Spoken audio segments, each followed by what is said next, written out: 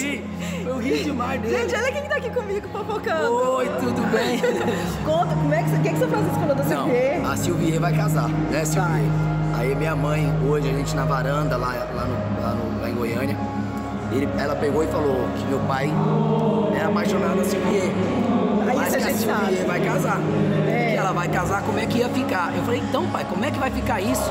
Ele ficou olhando assim, pai, eu não me importo. Quer dizer, pode casar que vai continuar namorando. Seu Francisco tá sonhando. Ele é apaixonado por ela. Ele Que assiste bom. todos os dias. Ontem eu cheguei em casa ontem e ele assistindo, ele é assim.